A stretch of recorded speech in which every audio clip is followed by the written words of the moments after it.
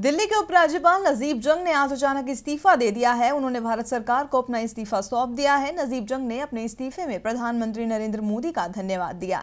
इसके साथ ही उन्होंने दिल्ली के मुख्यमंत्री अरविंद केजरीवाल और दिल्ली की जनता का भी शुक्रिया अदा किया है। नजीब जंग की तरफ़ से पत्र में कहा गया है कि वो अपने पहले प्यार एकेडमी की तरफ़ वापस जा रहे हैं।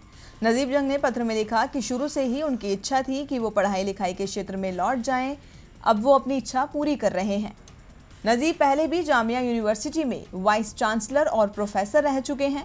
आपको बता दें कि नजीब जंग 9 जुलाई 2013 से दिल्ली के उपराज्यपाल थे, ऐसे में अभी उनका डेढ़ साल का कार्यकाल बाकी है। लेकिन कार्यकाल खत्म होने से पहले ही आज उन्होंने इस्तीफा दे दिया। जंग के अचानक दिए गए इस्तीफे पर भी सवाल खड़े हो रहे हैं। बीते सालों में दिल्ली सरकार और राज्यपाल के बीच तनातनी की खबरें आती रही हैं। विवाद यहाँ तक बढ़े कि आम आदमी पार्टी अधिकारों की लड़ाई को न्यायालय तक ले गई।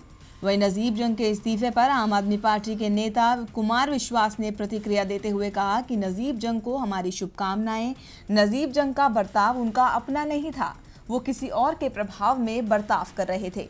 वही कांग्रेस नेता जेपी अग्रवाल ने इस्तीफे पर चिंता जताते हुए कहा कि बीजेपी के कहने पर उन्होंने इस्तीफा दिया है।